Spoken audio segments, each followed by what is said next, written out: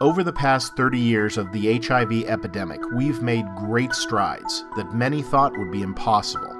But we have a long, long way to go. There are almost 1.2 million people living with HIV in the US, and despite prevention and treatment successes, there are about 50,000 new infections every year.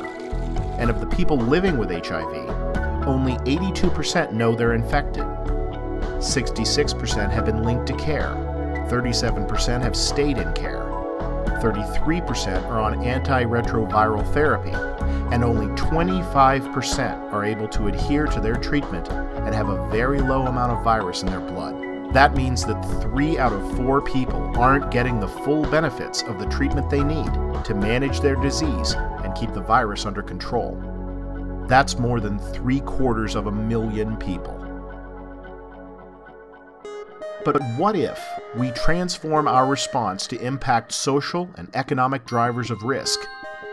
What if we intensify HIV prevention efforts for positives and negatives in our hardest hit communities?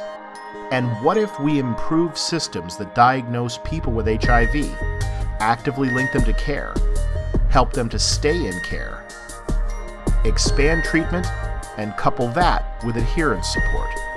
When that happens, fewer people fall out of care, and more people are able to lower their viral load to keep them healthier longer and lower the chances of passing HIV on to someone else. So that someday, sooner than later, we may usher in an AIDS free generation.